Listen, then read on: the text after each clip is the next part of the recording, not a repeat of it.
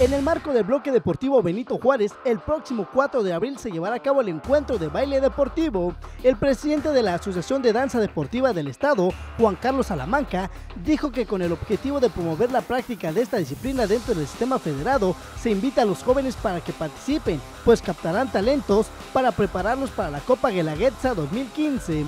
En dicho certamen se llevarán a cabo exhibiciones y concursos de salsa, bachata, danzón y danza deportiva.